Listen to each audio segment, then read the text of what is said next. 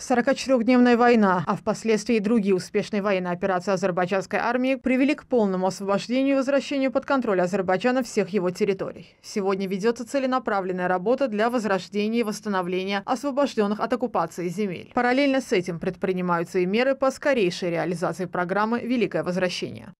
За годы своего правления президент Илхам Гейдарович Алиев достиг выдающихся успехов.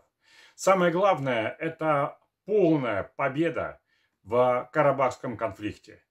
А, вооруженным путем а, и путем дипломатии а, была достигнута полная победа в войне с Арменией, и вся территория Карабаха освобождена, и Карабах полностью стал азербайджанским и будет теперь развиваться.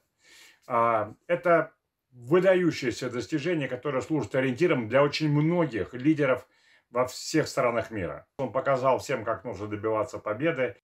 По словам российского политолога, директора Института политических исследований Сергея Маркова, Азербайджан полностью разрешил карабахскую проблему и одержал полную военную победу в условиях кризиса международных институтов. Находясь в конфликте с Арменией, Ильхам Алиев неоднократно подчеркивал значимость армейского строительства для Азербайджана. За последние годы большинство воинских частей и военных баз были фактически заново перестроены. Улучшенные условия службы солдат и офицеров позволили повысить их боеспособность, а также выполнить любую поставленную перед ними задачу задача.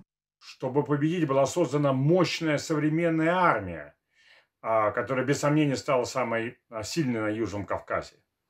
А в качестве основы для армии была создана мощная экономика.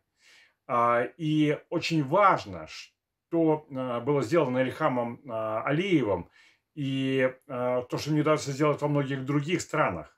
Нефтегазовые ресурсы, они поставлены на службу Азербайджану. Сегодня азербайджанская армия входит в число мощных армий с точки зрения технического оснащения. Ее бронетехника отвечает самым высоким стандартам. За последние годы была модернизирована и система противовоздушной обороны. Оснащение азербайджанской армии современным оружием, боеприпасами и техникой будет продолжаться и впредь.